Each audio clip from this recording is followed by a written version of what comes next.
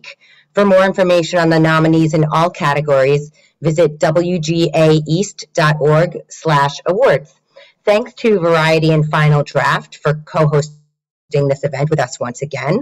We are delighted to have a stellar group of documentarians here with us tonight, and I want to thank them for being here. Our moderator, Writers Guild of America East president and writer of more, more information on the nominees in all categories, visit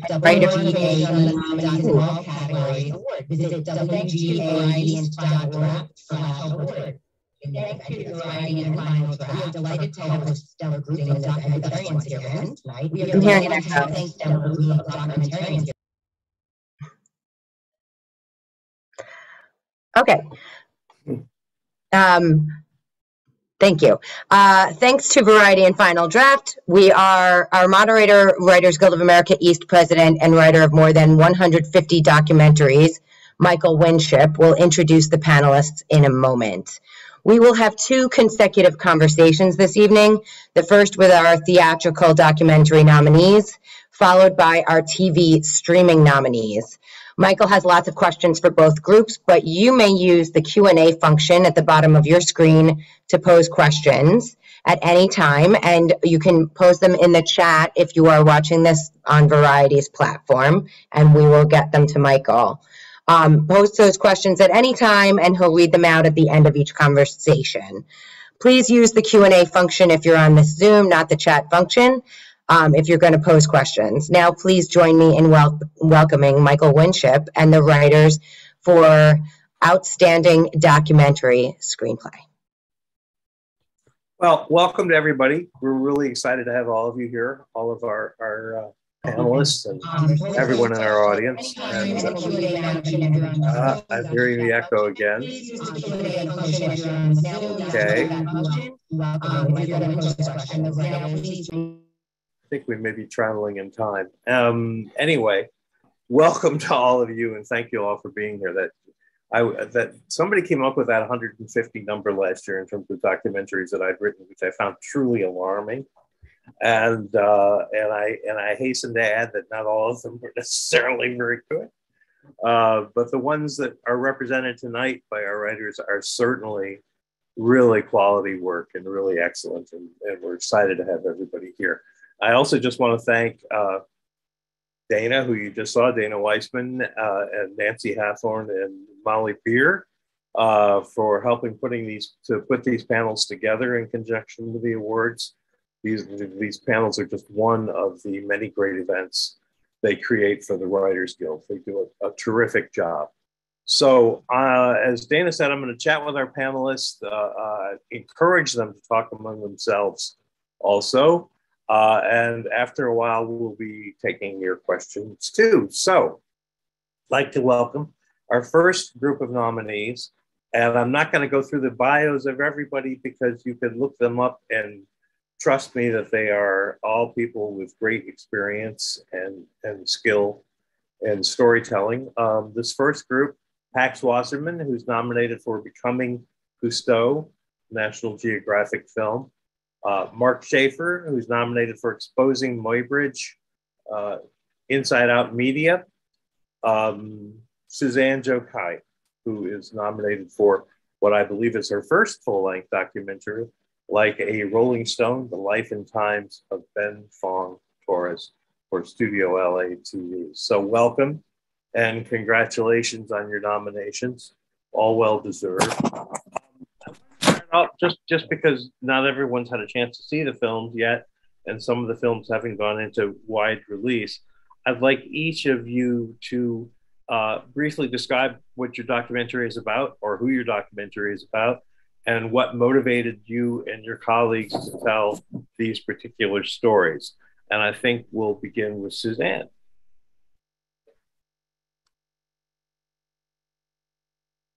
Suzanne, did you hear me?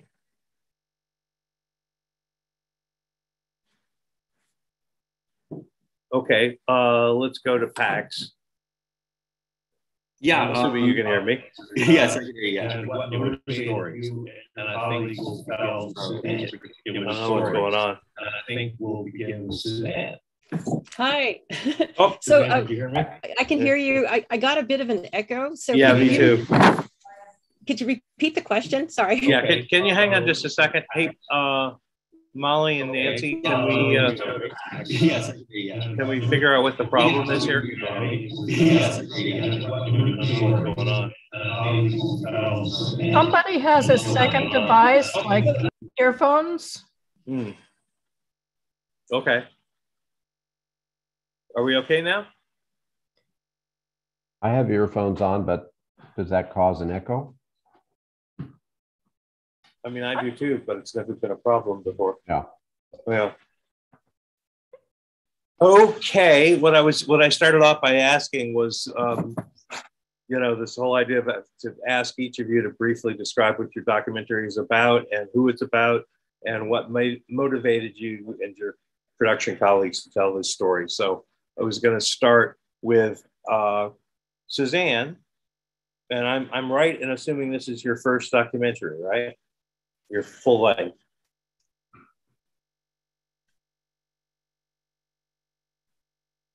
Go ahead.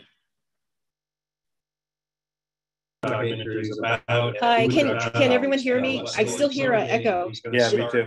Production colleagues tell the story. So Suzanne, I was gonna start and I'm, with, right in assuming uh, this is your first Suzanne. right? Can, can Uh, everyone hear this echo? This is your first Yeah. documentary, right? You, you're hearing an echo. Okay, so Yeah, should we, no, no, no Go more ahead. echo. Okay. Hi, I'm Suzanne Joe Kai. Uh, go. This is my, uh, can, can everyone hear me? I still hear an echo. Oh, now I'm hearing an echo again. I still hear an echo. Nancy, Molly, I think that, I think that might be Suzanne has a, a phone or something logged in, unfortunately, because it's only happening with Shannon. Hi, I'm Suzanne Joe Kai. No, no, no. Okay, my, uh, hi, I'm Su- Suzanne, sometimes when you leave and come back in, all things are corrected. Do you want to try that?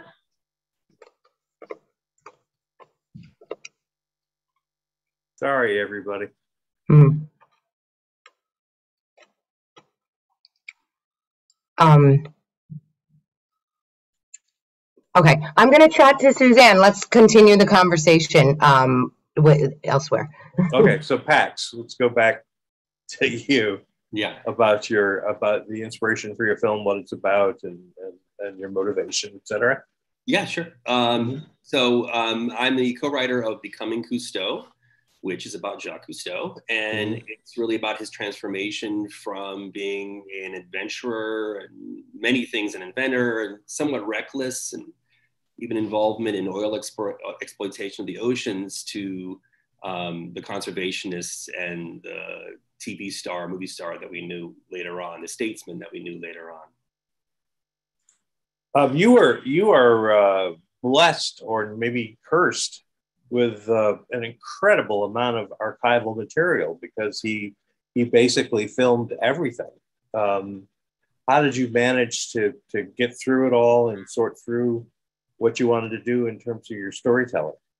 Well, we started by looking for places where there was a lot of material that so we could feel like first person with him as much as possible through the telling his story. So it's kind of like we had the scripts, this idea of the scope of what we wanted to cover, and then what what footage we had. And it was kind of a dialogue between those two things to make sure that the audience could live in his uh, enthusiasm and live in those curious moments and experience things firsthand you know, we used all archival interviews. We did a, maybe four or five new interviews, but very few. So it was all really archivally told um, throughout it. But it was an enormous amount of material. There was things, short films he had made that weren't very well known. There were outtakes from films that we had. So we had some play with going from the outtake to what was in the final film, things like that. Um, as well as he had done, he'd been interviewed a, a million times Or, between you know um, things that he did that were you know on TV, like the Dick Cavett show. He was always like the third guest on the Dick Cavett show because he was this fun old guy. So there was some a certain kind of a, a persona that was there. Then there was somebody also when he was interviewed um, in French, um, lots of series that we got much more depth from. Um, and then there's also the writings. He was a very poetic person, so we drew on those writings, and that was like in the beginning we wanted to tell the film we weren't going to use any narration. Um, we ended up having um, an actor read the narration later on, but uh, there was so much beautiful stuff that only existed in the written word. Um, and he was a had a very poetic soul, um, so we wanted to make sure that came across as well. I was, I was fascinated by the fact that, that some of this material was, was were things that he actually filmed uh, during World War II, and I was wondering how he managed to to, to pull that off with a German occupation. There was France. so much I mean, he was he was allowed to go about his life um, a little bit. He he also he had I was, was fascinated by the fact that, that some of this material was, was were things that he actually filmed uh, during World War II. I was, sorry the echo came back so i just wanted Yeah. to see um yeah he was filming. he wasn't filming a ton during world war ii he was able to film some stuff but we got some really beautiful stuff um and he you know they were always they were invented they didn't really know what they were doing so it was really about this drive to go deeper to stay under the water Mhm. longer so they had to Mhm. invent things to do that so um, it wasn't that he set out to become an inventor of scuba or an inventor of um, some of the first underwater cameras but in order to pursue their hobby, they had to um, for that. So he did. He was able to film quite a bit of really interesting stuff. so was that the biggest challenge in the sense of just as just this vast tidal wave of material you had to work from, or were there other Yeah, things and also the, as the well? scope of how much of his life we should tell. I mean, in the beginning, there was, you know, we didn't really want to do like a birth. It's not quite birth, death, but in order to tell the story of his transformation, there had to be these three acts to his life, um, and to see him be all these different people and be this savvy businessman in one regard, and then other times he's this the rousing guy that you know you would have seen like in the Wes Anderson film. It's kind of fun Mhm. deckhand sort of guy. Right. Um, and other times, again, he was the statesman. So it was really important for us to show the scope of his life in that way. I think so. That was always the that I think that was probably the primary challenge was how to narrow it down. Uh, and then in addition to that, it was um, you know hewing to the places where we had the best material and where we could live the longest. And there was a whole bunch of um, really sort of science fiction things that he was involved in, um, where he really saw like they, they as um, oceanauts he called them. So he was sort of jealous in a way of like the astronauts going and the attention they were getting. He was like, "Hey, we're doing the same thing, but we're going we're going down instead of going up." Um, and there was a sort of a almost like a mixture of a James Bond space race vibe, and even in the aesthetic of the things they designed that looked like spaceships um, that they're all really into. And it was a very, you know, he was attracted. He didn't pay the crew a lot, so they was attracted a certain kind of person that was attracted to this Mhm. adventure and this, Mhm. you know, um, sort of prototypical male life. Right. So, um, Suzanne, tell us a little bit about your film about Ben Fong Torres. Is good. I hope our problems are cleared up with the audio. Uh, we're not hearing you. Okay, I unmuted. Okay, can you hear me and no reverberation? Thank So you. uh, the film, I've known Ben for many, many years. For both uh, a journalist, actually. Uh, I was uh, a television television reporter at the NBC station in San Francisco, and he, of course, was at Rolling Stone magazine and also working in television and radio. So at that time, they were like maybe you can count on my finger, not even less than five Asian Americans in the whole um, all of America. So we we met, and um, years later, I had actually moved to from San Francisco. I'm native born San Francisco from San Francisco uh, to Southern California, and he was coming down and said, um, "Hey, do you want to meet?" I'm going to meet with Q, and it turned out Q was the Quincy Jones, and of course, I you know we met, and over dinner I said, we, there, you're in everybody's uh, documentary, rock, uh, rock and roll documentary, but why isn't there one about you? And he said, so why don't you just do one? So that began that journey. And I thought this will be really fun and it's very entertaining. And it still is. It's really actually funny and very entertaining. Um, but of course, there's some sad parts, you know, uh, very reflective parts. But um, it, was a journey. And when I started to do the deep dive that all journalists do, I then started to record and understand from the insiders at Rolling Stone magazine, with the rock stars in the community, friends and family. And then I came back with a completely different story, which is not in any books and not in any films. So then what started off to be, you know, a nice normal film and a normal schedule became a mission of mine.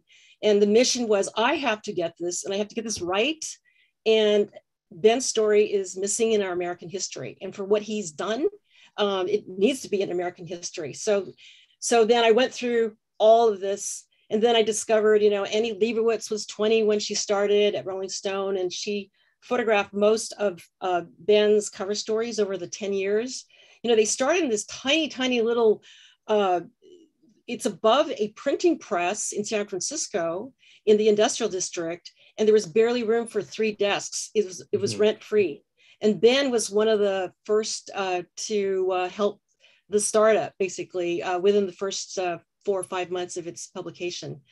So then you've got Annie Leibovitz who's contributing uh, amazing, amazing photographs from her private collection to our film. Uh, and we have a lot of exclusives. Ben opens up his private archives, which most have never been made public ever in the world. And they are the amazing, you know, conversations from from the 60s and the 70s and even, you know, current, but especially then.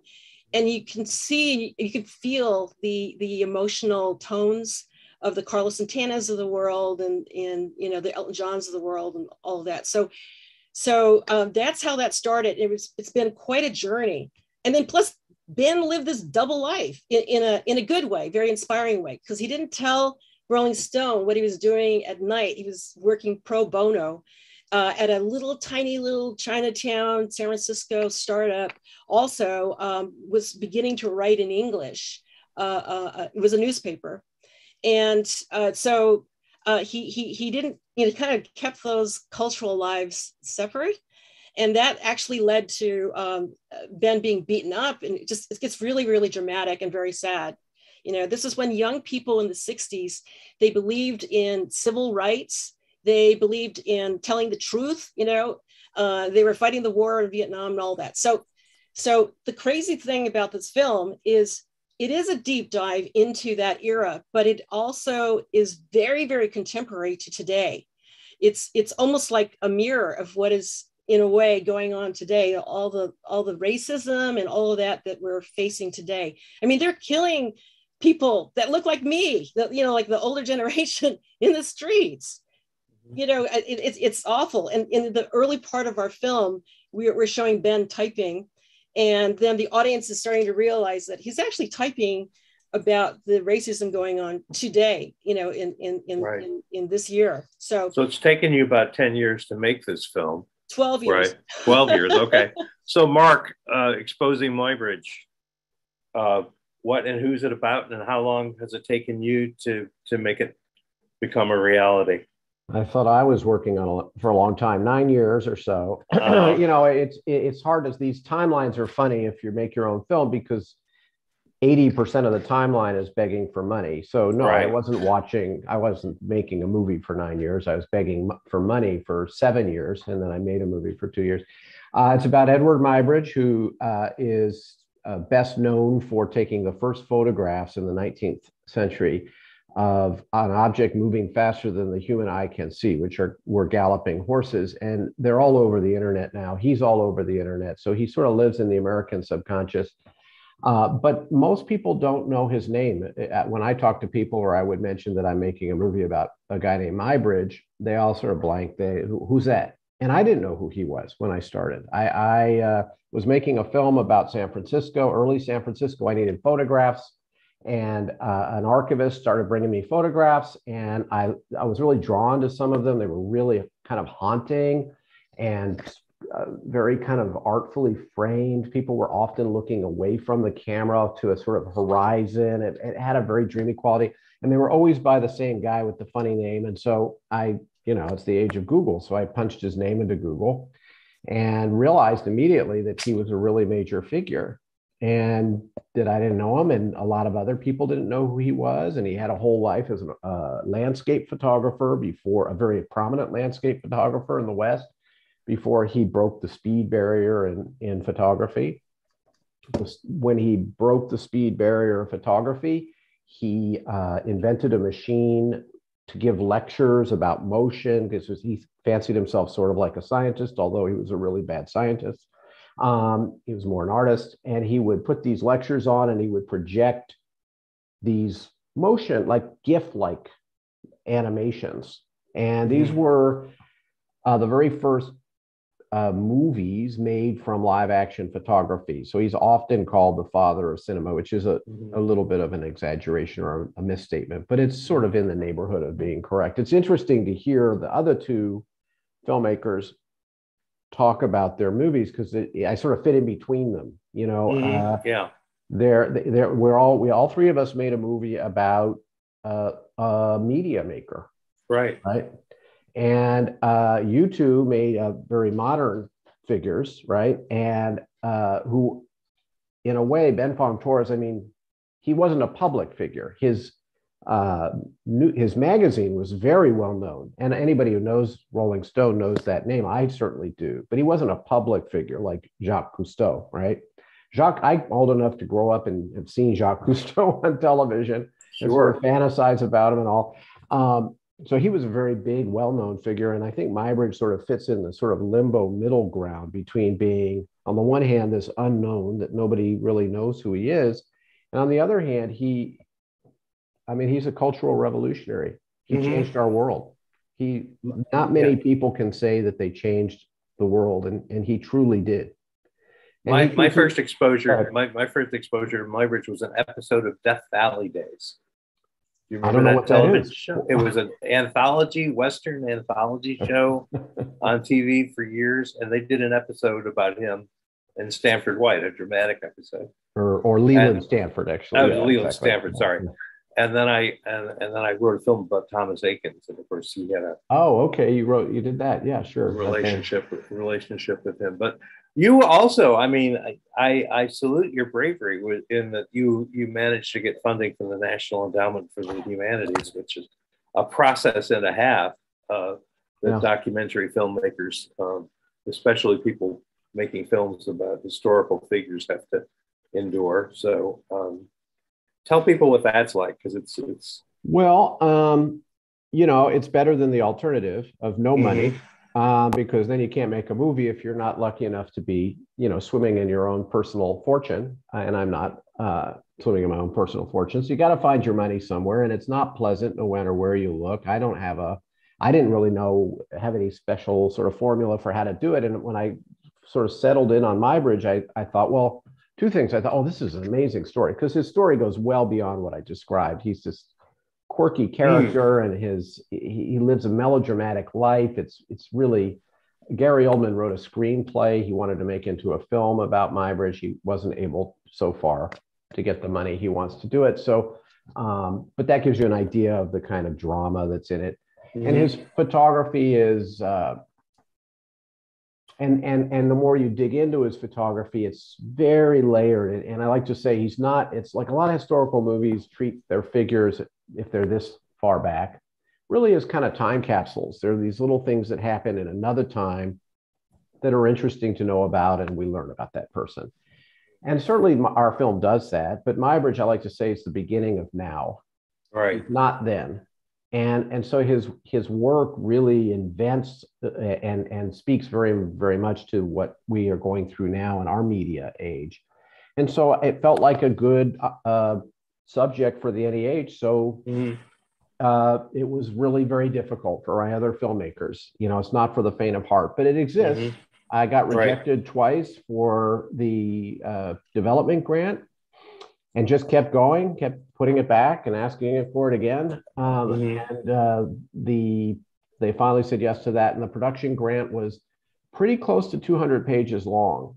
Wow. And um, you know, and when you're doing that, as as we all know, as filmmakers, uh, there's this really it's very frustrating because you know you want to make your film, you don't want to write a PhD. You know, I'm not in graduate school. I don't want to perform for you. I don't want to prove to you that I know what I'm that this will be a good film, but you just have to. And the mm-hmm. the silver lining of it is you know that process forces you to really really really think a lot about your subject mm-hmm. and refine your thinking and refine your storytelling and think about you know what's important about this guy mm-hmm. and, and how to how to convey it now you have to for the NEH the other thing is it's a very academic grant so you have to really push the sort of academic side right. Right. and some of it, it requires unwinding from that when you get back into trying to tell a, a story or make a film because you know you don't really want to make a film for graduate school you want to make a film for the general public and you have to sort of crawl back out of that very kind of intellectual space and make it interesting and narrative again mm-hmm. but hopefully mm-hmm. improved and sort of made more you have more gravitas because of all that hard work you've done can, uh, it can, certainly was my certainly right. My case, yeah. it, it, it's it's a it's a very grueling process, uh, and you as you said, you've got panels of academics and everything else. Um, the uh, three of you, though, I think I would love. I think for a lot of the people who aren't all that familiar with this form of screenwriting, if if you all could talk a little bit about why it's different from feature films or episodic TV, what's different about it, and uh, how you go about that. I think you know part of it is that brevity is is key, um, but so is the selection of sound bites from interviews and archival materials and and even the music. So um, I'd love to hear you all talk about that. Who wants That's to start? jump ball. okay, I'll start. I just finished, but I'll try and be brief. So, you know, I've done a lot of current events documentaries that's mm-hmm. my primary sort of work right. aside from this and you know doing this kind of work historical documentary is very different the story sort of exists already you know it's not uncovered or discovered or dug out um, and so there's more space to sort of focus on craft maybe in that respect and not just collection or the, the act of journalism which of course has its own demands in terms of telling the story well, but so much appropriately is focused on on getting the story. And, and oft in this case, there's like 12 books written about them. Now I found out mm-hmm. new stuff, but that that changes the dynamic. Um, for me, I felt like music was going to be essential because it was a bunch of still photographs uh, that he made that existed before the time of moving footage. I didn't have a, you know, bucketfuls of, of wonderful moving images, stock footage, like the, the Cousteau case. Um, I, yeah, but you know, not all films are made the same. You know, filmmakers have voices, and mm-hmm. I didn't. I I wanted my sit. I had knew I was stuck. I, I was ambivalent about sit down interviews, but I kind of knew I needed to do that, and um, but I wanted my sit down interview subjects to feel like real people, even though they were scholars, even though they weren't talking from the first person because he's been dead for 120 years. Um, I wanted to feel their humanity and and and interview them to try to pull that out of them, and then in the edit room, let my editor Elizabeth Haviland James um, sort of have fun with finding moments that would normally be cut out for efficiency reasons. You know, let it go. Let let let her laugh you know let her say that sort of aside that doesn't make any sense really or is even a little bit weird you know because i get a feeling for her um, but anyway that that's how i see it mm-hmm. suzanne pax I'll go. Um, yeah, I remember being struck when I first started working in documentary about, you know, we would, I worked on this film called Devil's Playground. We jam packed all this information about the Amish in there and you know it just it just weighted down the story that we were trying to tell and mm-hmm. realizing that the amount of information you can communicate in a documentary is about the same as a somewhat concise like magazine article or something like that if you want it to feel like an experience so i think you know for this film that was again really big for us to you know the director's liz garbus um, to to be with him and feel and experience and have enough room to follow, you know, a lot of his life, to follow that tragedy, um, when it, and just give some space to for emotion to take to take flight. So I think it was also the process was a lot of just chasing inspiration. We should do it this way. We should do it that way. There was definitely also kind of a happy accident in that uh, COVID meant that we there the interviews that we had planned to do that were probably going to be visual interviews became just some phone interviews and it made us lean even further into the archival and forced us to root the whole film in that um, so i'm actually quite happy about that um, i like those restrictions you know it's almost like Mhm. like a dogma film for us or something like that Right. point um, so yeah I, I think yeah that was that's probably it i'll leave it with susan Suzanne, anything you want to add there? Yes, so for me, it was uh, it was it was really a process because I, I think some people say uh, when you're doing a documentary, you're actually writing it two or three different times because you're writing it. Uh, the good news for me, at least, is um, when I finally settled in with all the revelations and all the insider information, uh, I actually laid down, you know, kind of the story arc. And then then you know i, I brought in uh, uh, great editors you know doug blush he's you know academy member 20 feet from stardom. Uh, and he actually has been with me since 2014 as an advisor for our film. So and of course freida lee mock oscar winner incredible so collectively we were reviewing the film from an emotional standpoint from story arc from everything and particularly music because Ben had given me this treasure trove of mostly never heard before in the world uh, conversations with with these great artists. So we're weaving in the uh, the storyline into with with the music, with the musicians and their their archives. So I just wanted to end there. That it was um, kind of an organic kind of uh, uh, pathway to finish the film. You know, with with the uh, the final. Well, um, Pax mentioned the, the impact of the pandemic on the process of making the film. How was it for for the two of you? What kind of impact did it have, if any? Uh, for me, it was a really just a stroke of luck because I wanted to have um, uh, uh, a major international uh, rock star, you know, to close the film with Ben, you know, backstage or somewhere. And it actually happened, and it happened very quickly. And then when it did happen, um, uh, within of like a week or two, then started the announcements about the pandemic. Yeah, So we were just very, very fortunate. That became our, our final shoot. We should after we should say it's Elton John, by the way. It was your- Yes, it's the Elton big John. reveal. Oh my gosh. yeah, Yes, yes. And Uh-huh. that little text, it it I got it back, yes, like in 24 hours. Like it was a shock. It was like amazing. It was just Mhm. uh turns out, you know, Elton has great um love and respect for Ben and you know, all of that from uh was it just came the universe came together perfectly. Mark, how about you? Uh, the pandemic uh, question. Yeah. Yeah. the pandemic got in the way. Um, I was uh, still in production when it hit, and um, so uh, suddenly I couldn't do some things I had planned to do.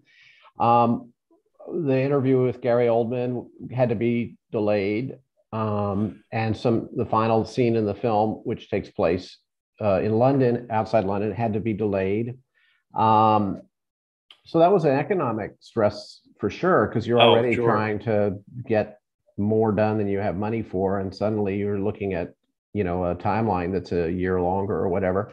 Mhm. Uh, creatively, I couldn't get into certain museums that I was going to shoot his objects. Uh, they were shut down. They nobody was going in. That was uh, off, and and I I had to wait a long time to get some images, and some images I never got. And you know, my experience has been that you know sometimes when doors are closed, the process of finding an open one yields something even better than you ho- hoped for in the original impulse. And so when uh, so I ended up finding uh, great animators and finding ways to sort of convey the visually what I was going to show you.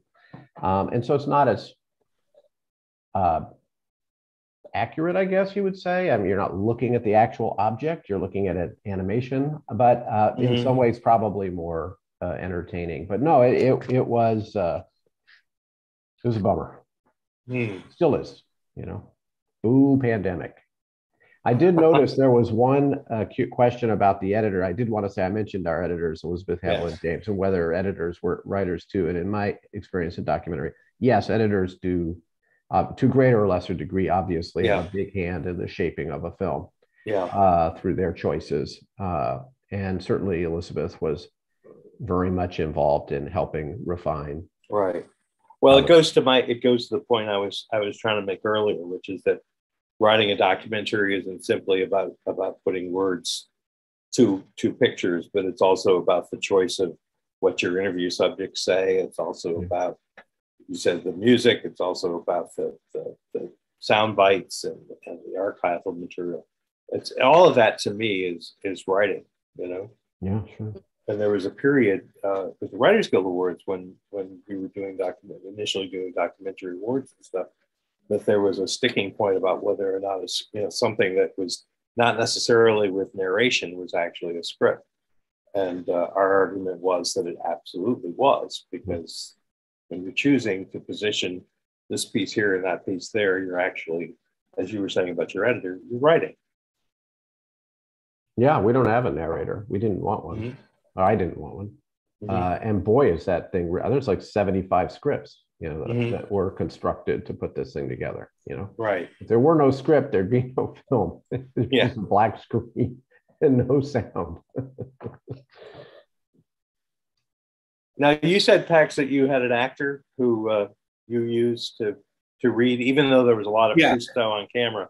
Yeah, there was about, um, about a dozen instances where there Mhm. were just things that were really personal moments that. Mhm. we wanted to include in there. Um, like I Mhm. said, we started out with we were working through what he said in these in different interviews and all kinds of things like that.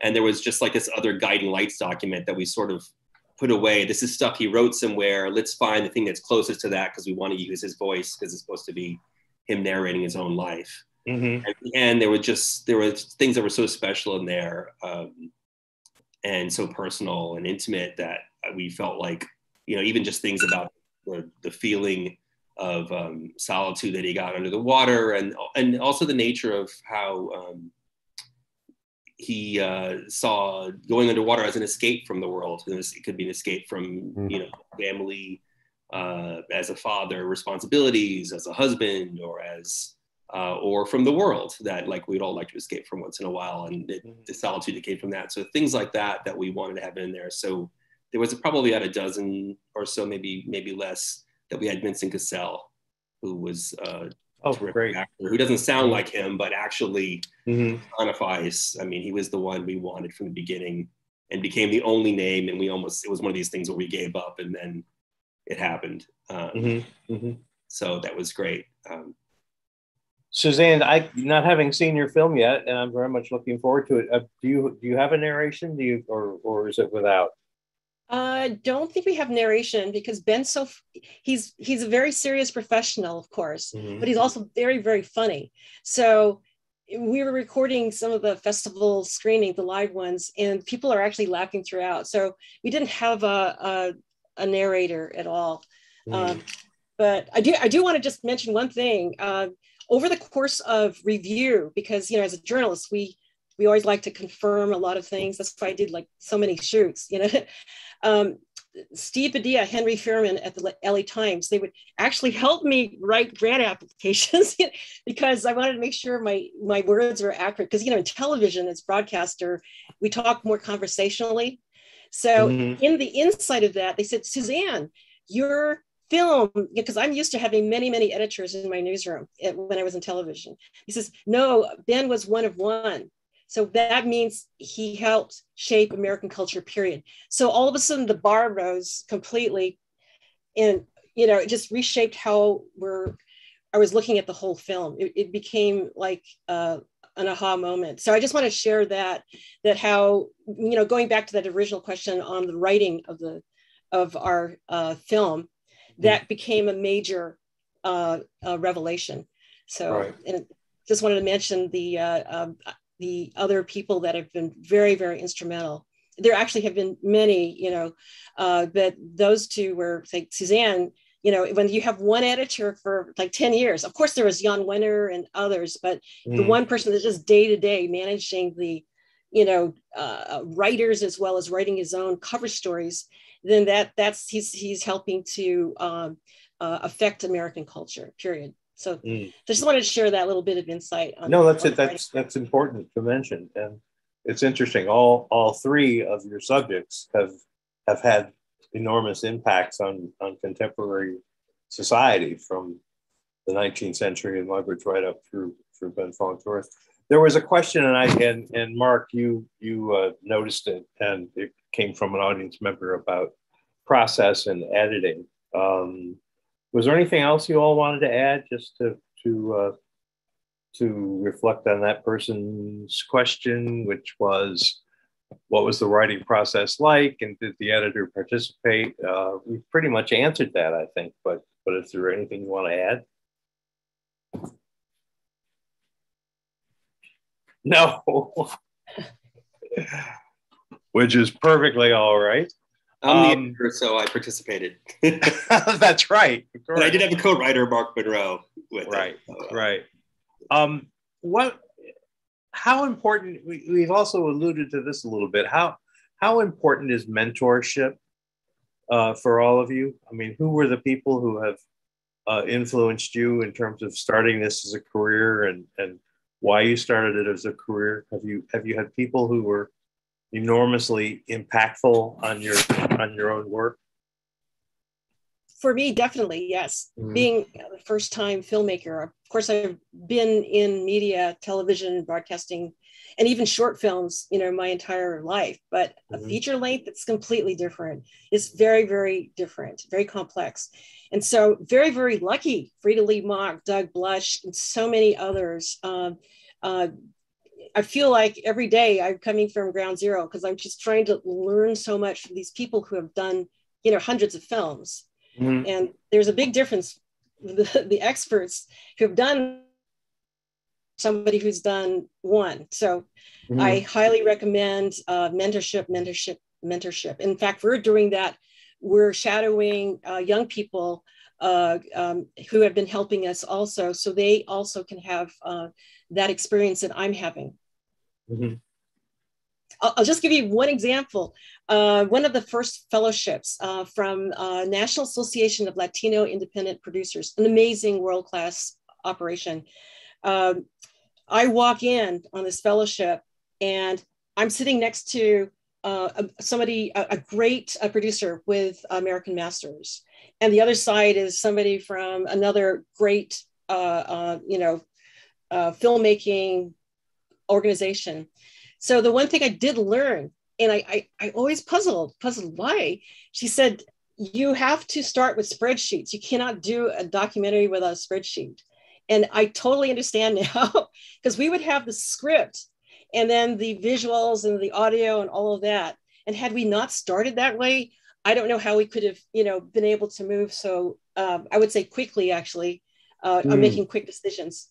So I just wanted to share that one little bit of advice from uh, ad- advice from me from from uh, the American Masters producer.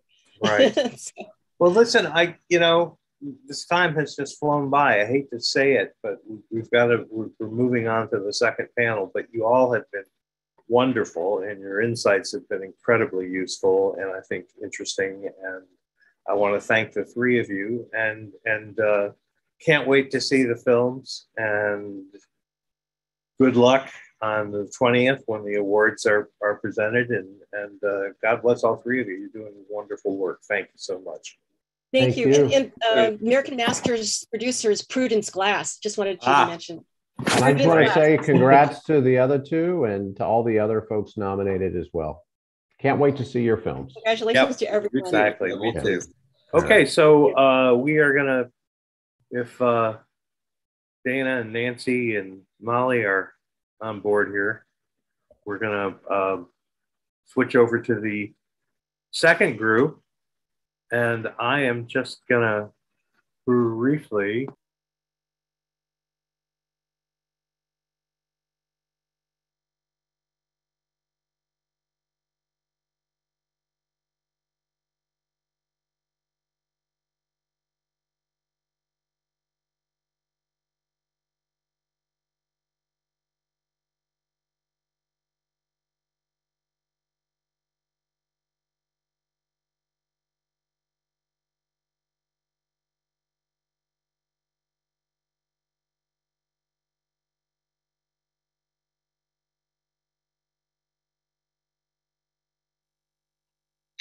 Stay with us, folks. We will get started with our television and streaming nominees in just a few seconds.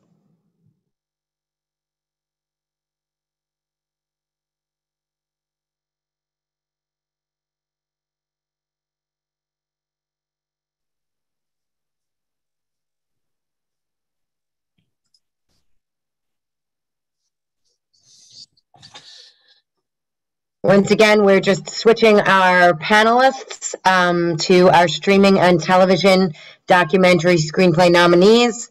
Um, so we will be starting, and here's Michael.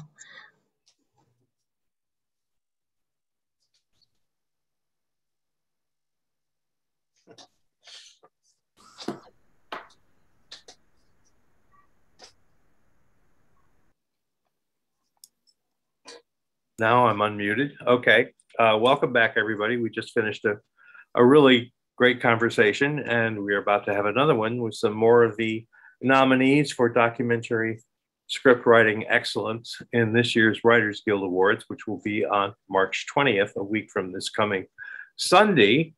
Uh, so let me introduce everyone. Uh, Rob Imbriano is nominated for Citizen, which is an episode of the miniseries Amend the Fight for America on Netflix. Uh, Marcela Gaviria is involved with the frontline documentary The Jihadist, which I'm very interested to, to talk about among all the other films. Jeff Ward, uh, a friend and, and colleague of many years, who is nominated for a writer episode of the PBS series Hemingway. Uh, Gene Tempest uh, for Citizen Hearst. First, the part part one of that for the American Experience, and Sarah Burns uh, for round one, which is the opening episode of the series Muhammad Ali. So, welcome to all of you, and again, congratulations. And I want to start with you all as I did with uh, the first group, basically asking you to talk a little bit about, because not everyone's had a chance yet to see all of your films. If you could talk a little bit about the subject matter, uh, the who and the what and the why, and what your motivation is for telling this particular story. So, um, who'd like to start? Sarah? Um, okay. Hi, everyone.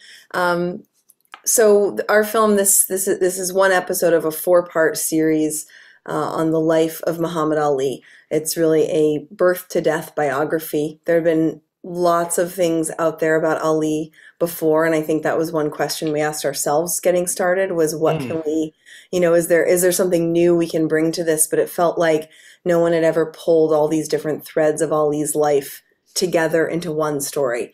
Um, the fights, yes, of course, um, but also his political views, his religion, his family life, um, what he does after his boxing career is over, and sort of getting all of these things uh, together and understanding them as connected and, and as sort of threads in one larger story about his life. Um, and just one of the most compelling figures I think we've ever had. Um, and the chance to understand him in his context um, in this important period in in the 20th century that he's living through and impacting himself. So um, it was really a joy to work on, um, and we we thought it was going to be three parts, and we got to the end of writing three episodes. Myself and my writing partner David McMahon, and we uh, he hadn't even fought George Foreman yet. Like I guess it's going to be four. Wow. so. Rob, uh, so amend uh, is about the 14th Amendment, uh, and the 14th Amendment is about uh, the struggle for equality in America. It's a six-part uh, series um, that starts with uh, black struggle and then moves over to the fight that women have had using the 14th Amendment uh, and their fight to get into the mainstream, and then uh, the LGBTQ community, and then finally immigrants. Um, it is probably the most powerful vehicle in the Constitution that no one really knows about. I didn't know about it. Uh, and as a black, Irish, Italian, Baptist, Catholic Jew, uh, it is the, the one thing that threads all of my stories together Uh, and it was an opportunity to take uh, everyone's story out of its silo and put it into one uh, coherent group uh, and tell a story about equality in America. Thank you. Um, yeah, I would. I, one of the things I, I want to talk about is the fact that how much, for all of us, all documentary writers, how much of the process is discovery. That you even a, even a subject that you think you know, uh, that you learn just incredible amounts. It's a it's a you're creating a learning experience for your audience, but it's also a tremendous learning experience for yourself. And you know the scale of this story was something that we actually tried to match in terms of our presentation. So we were very fortunate to get Will Smith on board uh, because there's not really a big market for a six-part series on the 14th Amendment. Uh, mm-hmm. There's a rather large market for a six-part series starring Will Smith.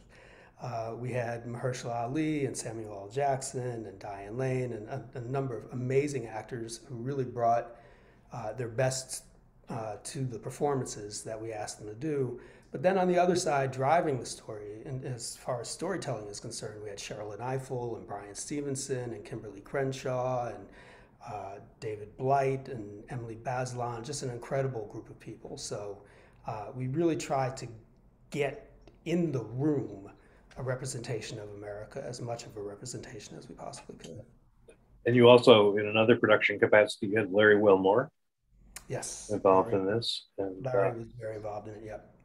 And our and our uh, and our friend and associate Sasha Sasha Stewart. So yes, uh, some really major major talent. Uh, Marcela, what about the jihadist? Well, um, our film was about the story, the life and times of Abu Muhammad al Jalani. Um, and as I'd like to point out, it's the story of the most important jihadist of the last 20 years that nobody's ever heard of. Um, the man that um, basically inherited the jihad from Osama bin Laden, who uh, was uh, a key member of Al Qaeda that took over Syria, uh, fight against Assad. And so we had a remarkable opportunity to interview this uh, man, Abu Muhammad al Jawlani. I will um, tell you that um, I did not go to Idlib in the process of making this film because as a woman eh, part of the team one of the conditions was that well women aren't allowed to travel to idlib to interview abu muhammad al Jalani. but i did um, get to know him quite well through maybe uh, 450 page transcript in arabic that where he recounts his life and the amazing thing about making a film about somebody that um, nobody's ever heard of in Arabic is is truly how how how how fascinating his life is and how it intersected with so many key moments in the wars of Iraq and Syria. And so it was a, a, chance to tell this narrative from a completely different perspective. For the first time, a man that had never spoken to the West uh, sat down with Martin Smith, my correspondent and co-writer, and and uh, revealed the secrets of what it was like to be in the jihad and to be um, Baghdadi's worst enemy, and all these um, you know really in depth. Um, moments that that were quite revealing and stark so it was it was a great experience and how did and how did you and and Martin um, gain access to him? That must have been quite something. Uh, well, when you cover the region enough, um, you know, I suppose people start realizing that uh, you have some expertise in it. And um, Martin has so many contacts in Syria because he's covered it for so long. Mm-hmm. And he actually kind of got an email out of the blue that said, uh, would you like to speak to Abu Muhammad al Jalani? And he was like, absolutely. But then it was how to convince Frontline and PBS to make a film about somebody that nobody's ever heard of. Mm-hmm. And it also strikes me another, you know, among the other differences in, in the various films that are nominated, you you have films like Muhammad Ali and and uh, uh, that uh, take a large amount of time of research to write to produce. Um, whereas your project really had to be done in a very quick time frame and you really well, sort of had to, you know.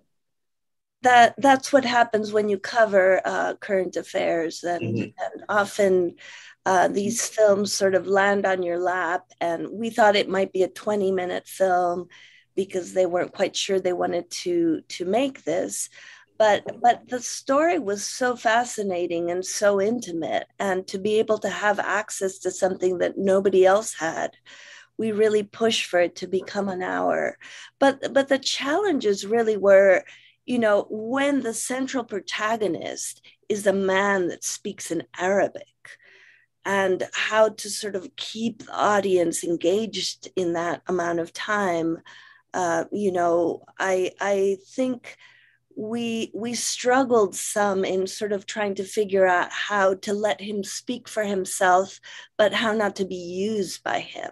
Right. Because um, you know here we're giving a platform to um, someone that is reviled hated has a 10 million dollar um, reward on his head and yet we're giving him a microphone to speak to the world and so that was a really delicate balance in writing the script and i mm. think um, what it, it was quite a challenge especially in the last moments when executive editors and the team at frontline who were so diligent about getting things right wanted to make sure we didn't have sort of Stockholm syndrome by having interviewed this man.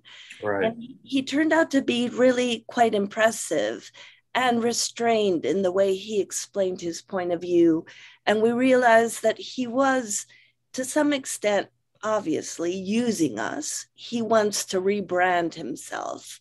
He wants to speak to the rest of the world and we have been the vehicle that he has chosen for that message. So it's it was tricky but um i'm pleased with how it turned out. Jeff ernest hemingway.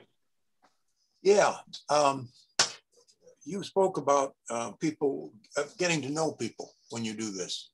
And uh, i i was very keen to do this because uh, he fast, has always fascinated me. But you do learn the longer you spend with the people like this, you learn stuff that you never knew. And, uh, you know, he's the, he's probably after Mark Twain, the most important American writer, at least I would make that argument. I think everybody here writes differently than they would have had they, and had he not done his work. Um, uh, you know, the hatred of, of um, adverbs uh, comes from him. And uh, I, I, found him absolutely compelling uh, and not and not at all the caricature of himself that he presented as the years went by. And in this first show, I think he's terribly winning. Uh, he's a he's a compli- you know complicated Middle Western product who just decides after World War One that he's going to be a great writer and he sets out to do that, and he is one. And uh, we try to set up all the complications of his childhood, his his uh, uh, formidable mother, and his very sad father. And I think the thing I learned most, and that made me, in some ways, it's a terribly tragic life, which ends with his killing himself. He thought of killing himself starting at the age of 18. Mm-hmm. He made it to 63 and wrote some of the great stories and a couple of very, very fine novels in all of American literature. I think that's a triumph in a way. And I, I so I find him um, at once repellent. He's, he's awful a lot of the time. but he is, um, and he's terribly tortured, and he he does a lot of it to himself, but it's all of it is trying to deal with a terrible cloud of depression that can catch him at any moment. And I, for that reason, I found it terribly compelling to write. And mm-hmm. the other challenge was if you're writing narration, and there's a lot of narration in that series, so is Ernest Hemingway. And uh, writing, uh, you know, you, you're not contending with him. He wants to contend with everybody. I don't want to do that. I want to just tell his story. But still, you do find yourself, at least I find myself, uh, you know, dumping adverbs that I might have put in before. Right. Made you very clean when you wrote. Very. Well, that's interesting because because Jeff, you've written books and many articles. Uh, how is it different when you sit down to uh, write a narrative for something like Hemingway? No topic sentences. Pictures of the topic sentence. Um, it's not that different. I mean, I read a whole, I mean, you know, I'm surrounded by the American Revolution at the moment. And the Holocaust books are over there on the floor because we finished a show on that. Um, I just do a lot of reading and, and uh, it's the same thing. You just can't do as much of it. And I've had the great good fortune of, of writing a number of books which are loosely based on the show, mm-hmm. but which allow me to use all the stuff that ended up on the cutting room floor, plus right.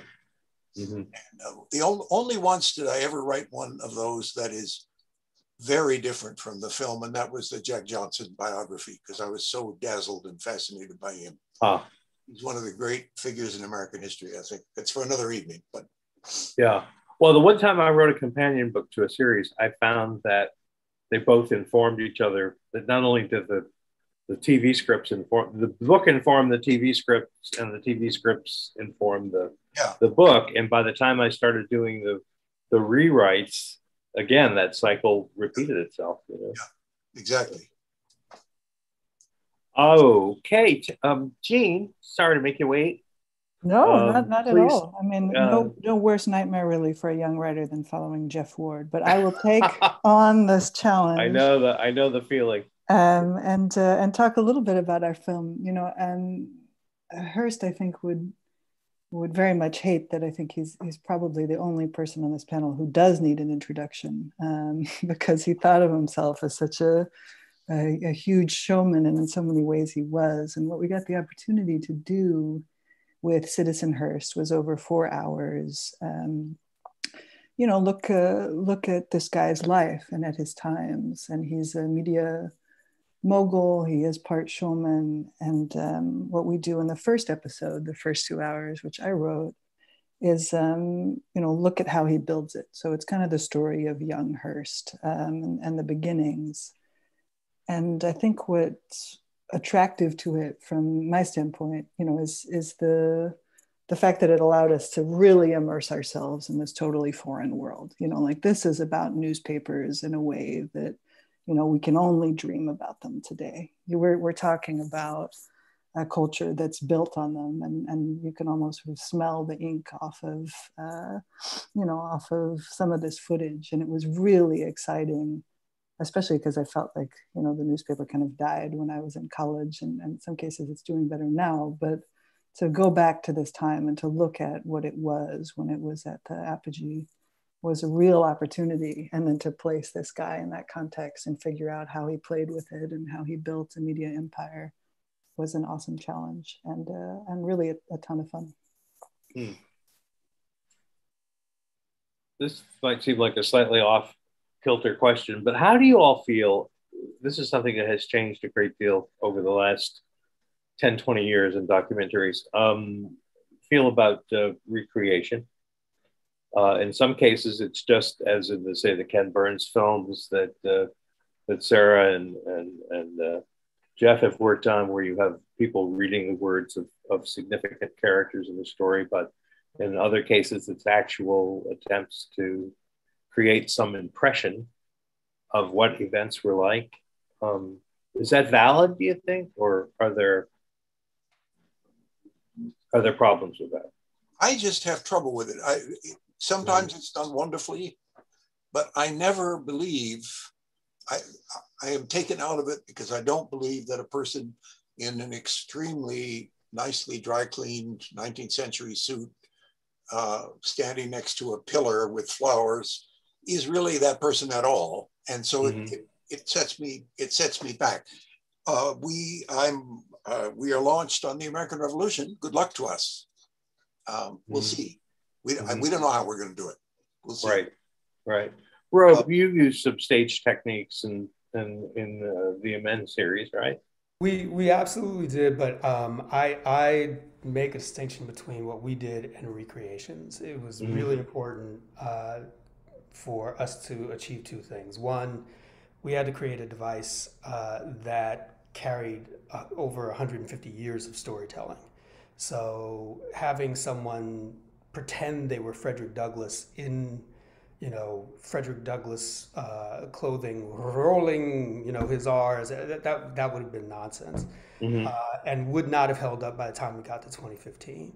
Um, and so it was really important too, because so much of this really hinged on the words. As we were mm-hmm. doing the research and we researched for five years, I learned so many things and came across so many incredible uh, pieces of writing, either from uh, speeches, books, newspapers, magazines, FBI wiretaps. It was it was really important for those ideas to land in a way that was as fresh as possible. And so we really wanted people to show up and to perform these words, but in contemporary clothing, directly to camera, make it intimate, uh, so that the words felt fresh today uh, and mm-hmm. as fresh today as they did 150 years ago. So I don't consider what we did recreations. In fact, mm-hmm. I, I, blanch at the idea, but uh, but right. I think performance was actually really important. My my response is my my feeling has always been that if you feel absolutely compelled to do it, that it has to be done in such an impressionistic way that it doesn't uh, that it doesn't create any kind of false re- false or chintzy uh, attempt at recreating something. Um,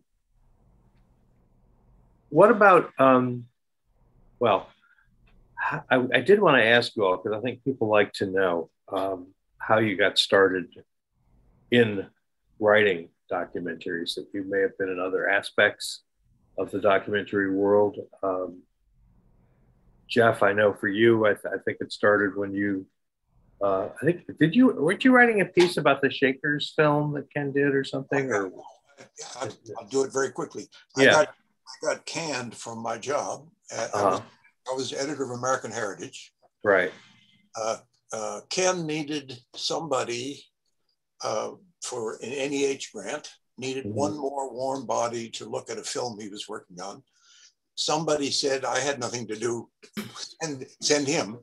And I went up and, uh, and saw the Shaker film, which is a wonderful film. And I uh, made several suggestions, none of which were adopted, establishing a system which is continued now for 40 odd years.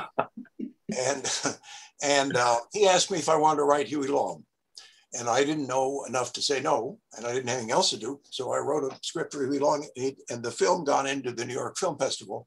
And I was so naive that I thought all films, you know, it was made in, it was made by, it was written by somebody in New York. Probably, of course, it was in the New York Film Festival. you, know, was, you know, it's taken me a while to understand what I was doing. Right, right. Rob, what about you?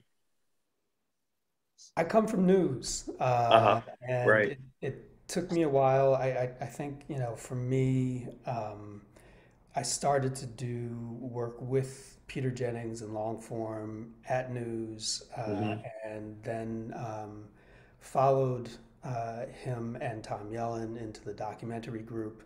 Uh, and started doing long form there. Uh, mm-hmm. I still go back to news uh, every now and then. Um, but I'm I'm more a second draft person, not a first draft. I, I, I, like the analysis that comes with it and the distance that you can you can take advantage of if uh, if you have the opportunity. So.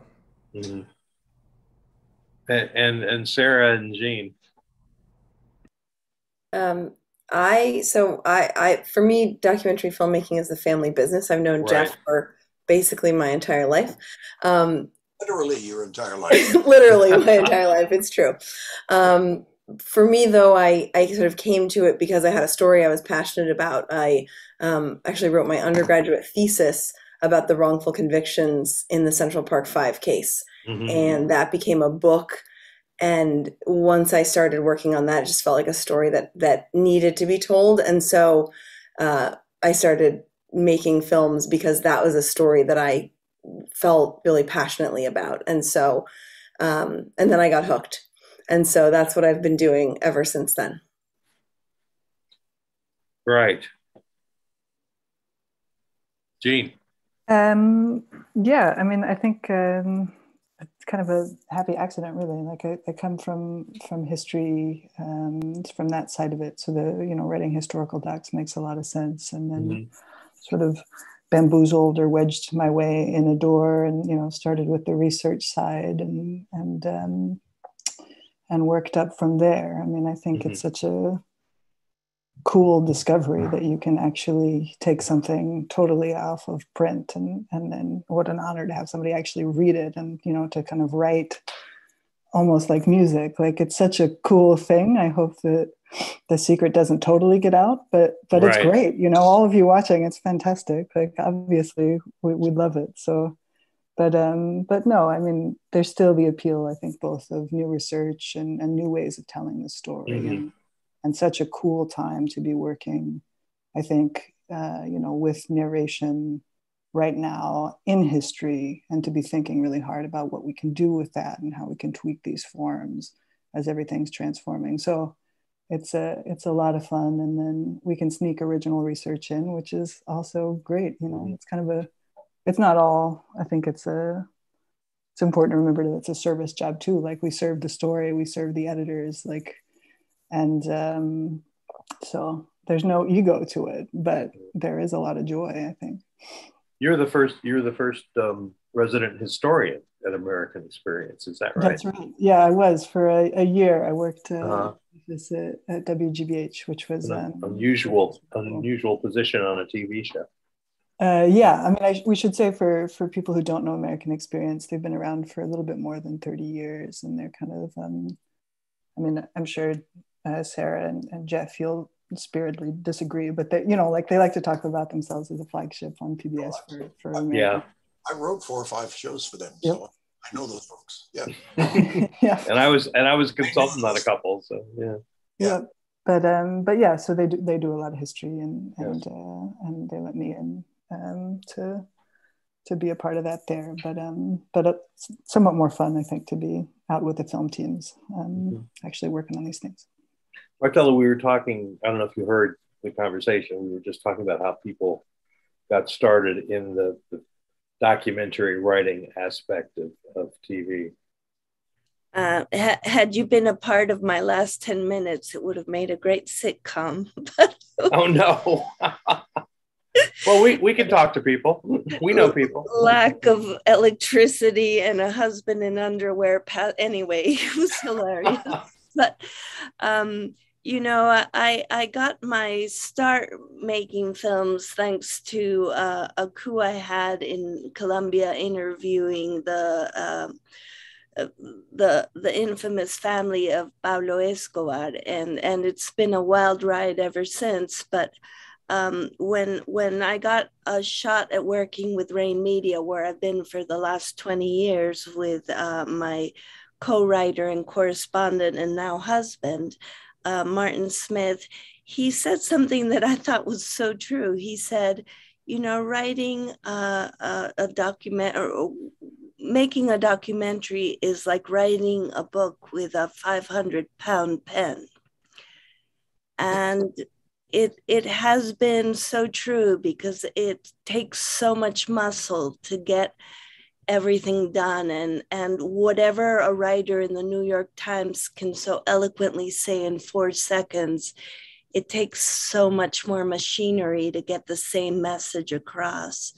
And and it takes uh, cameramen and flak jackets and um, you know accidental death and dismemberment insurance and and just you know the layers of complexity to getting these films on the screen or on tv is enormous. I am a firm believer in the notion that chance favors the prepared mind um, and that if this is nothing like a you, pasteur quote just to liven up the evening not bad. it's like hey you know i thought it was arnold palmer. Oh okay. Um, that you uh, that you get your foot in the door wherever you can get your foot in the door. Because that has been my experience and the experience of a lot of other people. So that you're there when the moment comes. Well, well, I'll give you the story of how I got my foot in the door. And if anybody's listening, I wish I heard this more often. Um, I, I called up somebody in London who was making the film about Pablo Escobar, and they said, um, you know, you kid, you have no experience. I can't hire you. And then uh, I said, but will you give me four days to prove to you that I'm the person you should hire? And that began my 20 year journey at Frontline. Mm-hmm, mm-hmm. That's amazing. That That's is so amazing. Cool. That is amazing. What I mean, all of you are experienced, and um, in the time you've been working in in this field, how how has the process changed? What are the what are the new technologies for good or ill, and and how have they uh, changed your way of telling stories? I don't think it's changed mine. I was mm-hmm. saw that on the, you know, sort of dummy questions, and I, I have no answer for that. Mm-hmm. I'm we're still making the same stuff we were, we made. We you know mm-hmm. we changed things, uh, and you know when it when I started, it was people holding up strips of film, and now it's done in front of you on a machine. That's different, but I don't think it's changed any. We we we still believe in the attention span. Mm-hmm. See, if it's a good story and it's well told, people stay with it. And I, uh, I, I hate the, you know, the notion of nobody will be interested in this and, and so on. And I, I, I pay tribute to, uh, I've done this before, but I pay tribute to Ken because I have worked with some people, even uh, American Experience people long ago, none of them now involved, who were filmmakers who had to be persuaded that history was interesting. Mm. As soon as they have a story, then they go back to high school in their head and they say, God, I have to know which month that happened in and all of that. And uh, Ken, I have never had in 40, whatever it is, years, a conversation where I said, I promise you this is interesting. He always agrees that it's interesting. And he has, he also has a sense that it's complicated. And that's, mm-hmm. that's what I love most because mm-hmm. so much stuff, not any of it by anybody here, God knows, but there are people who simplify these stories and, you know, it fits in with commercials and it's over and it's, uh, bouncy and cheerful, and it doesn't have much to do with what really happened. Mm-hmm. So, it's still like the story. It's still it's still the story. Yeah, it's the story. The story rules, no matter how how it's uh, how it's conveyed to the public through whatever technology it's conveyed. It's still about the story. And, and in our case, we've done a lot of famous people. Mm-hmm. They are all complicated. and the way to do that is to convey that. Um, mm-hmm. Muhammad is certainly complicated in that show. Right. Hemingway, right. You know, I mean, it's, it's um, and Hearst is complicated. It's, yeah, it's mm-hmm. and I, I love that. no, totally. I mean, that's what you know. It's it's the uh, the telling detail. It's the uh, I think it's so interesting because it's not that I it's not that I disagree that it hasn't changed, and I think we're all working in this mm-hmm. world that that you and Ken created, you know, to a certain extent. If you're an historical doc, there's no question, you know, you made this in America, and then um, you know this is it remains your form to to a to a great and um, and and really real extent at the same time, I do think it's changing. I think that it's very clear that what America looks to history for is changing. The idea of a narrator as the voice of God is changing.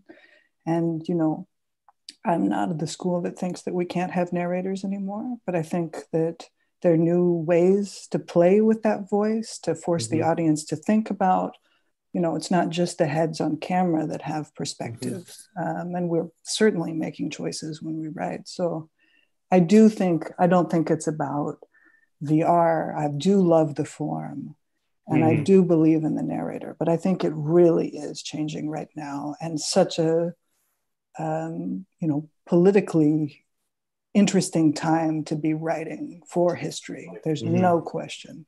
Yeah. You know, it's not the same American history we've had. Oh, it's not. You know, in, in this world, I just feel like our job is to slow people down mm. so that they stop sort of looking at Twitter and just kind of be able to focus on something for an hour or two and learn. Yep. I, mean, I, I was, I, we, I was that. Go ahead, Ru. Well, we, we would say constantly on, on you know the set of Amend, it's it's not that the past is present; it's that the past is always present. Mm. And if you make those parallels and those connections strong enough, you you really see how we are where we are, and and the telling and, and one thing that I appreciate about this panel in particular is the dedication to telling America's fuller story. Mm-hmm. And, you know, we are now in a place where that also has commercial traction, uh, which is something that has been relatively new. Uh, and our opportunities to tell that story and expand it uh, are much greater than they've ever been. Mm-hmm. I also think that inevitably, what we do, even when we're telling historical stories that are really far removed from our present moment, are always informed by our present moment. And that inevitably there are those ways that right. those connections arise that if we'd made the same film 10 years ago or 20 years ago it would be different inevitably. And i think that's really important that like as much as we're telling a story that is set in the past it is very much also a product of the moment in which it's being made and so i think in that sense it's it's of course it's changing because it's always reflecting who we are right now and where we are, even if it ostensibly has nothing to do with the present moment. Right. and I think six go ahead. years to make amends. And the place where we started, the place where we finished, it, it, was we were in a totally different universe. Yeah. Completely. Yeah. you asked about mentors um, earlier. And I yes. I don't really have them any in this field necessarily. I mean, you know, I've worked with Ken for a long time, but uh, I did have a mentor. Arthur Schlesinger was a was a mentor of mine I, I, when I was writing about Roosevelt, and mm-hmm. um, he used to say history is an endless argument, and it is. Um, the, if if I were I, I, speak only for myself. If I were doing the Civil War again, I have things I would have done differently, mm-hmm. and whoever does it next will do it differently. Mm-hmm. There's mm-hmm. nothing wrong with that. There's nothing. Nothing is ever definitive ever, ever, ever, ever. And if you if you pretend it is, you're in trouble. Yeah. Oh, well, I would, the great just, historian yeah. Marc Bloch says that you know if you expect everything to be redone every ten years, and it should be absolutely, it yeah. needs to be. Yeah. Well, I was just thinking about this in, in terms of race in America, obviously, and then um, Jeff, you and I have worked on several different projects about uh, the American West, and the history of the American West, and and that's gone through a, an enormous revision over the years and a reevaluation. I, th- I think that's a really good point. Yeah. I have a question, almost sort of along those lines, which from from one of our audience members, which is a, what is the best piece of writing advice you've received or would give? I'll answer that. Please. Good. Restraint. I, I, think I think it's restraint. It's like not overtelling. You're you're trying to hold suspense and make sure that you don't overtell and you want to lead into the next soundbite, but just hold back. That's good advice. Yep. I'll, I'll, I'll, give a shout out to one of my heroes. So Michelle Ferrari once told me to think of uh, you know, to think of narration as a second score. You know, that's that's mm-hmm. one of our great privileges. We're not writing just for the page, so uh, mm-hmm. to think of it that way. Beautiful. I was going to say before we were talking about American Experience, and and I was working on a a film not for American Experience, but another series at WGBH, and and uh, Judy Crichton, who was the first executive producer of American Experience, came in to take a look and give advice, and she was very fond of a Barbara Tuchman essay that you all probably know called History by the Ounce. Uh, and she was like, find the telling object or moment or incident that basically tells your story in just a few words. And uh, for the film I was working on, that worked that worked terrifically. Um, but that was you know mine. I, I want to second the notion of restraint. Um, yeah. uh, what the other thing that throws me out of films is when someone says for no for no reason except that they're worried that I won't be excited. It was the biggest building. It was the biggest river. It was you know it has nothing to do with the story.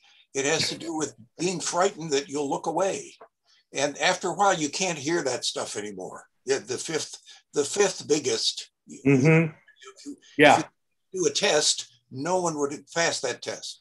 Yeah, no, I wrote a TV series for the Smithsonian with David McCullough for a couple of years, and the people at the Smithsonian were always like, "This is the biggest steam engine with a piston that goes back into the. It exactly. makes you crazy." Yeah.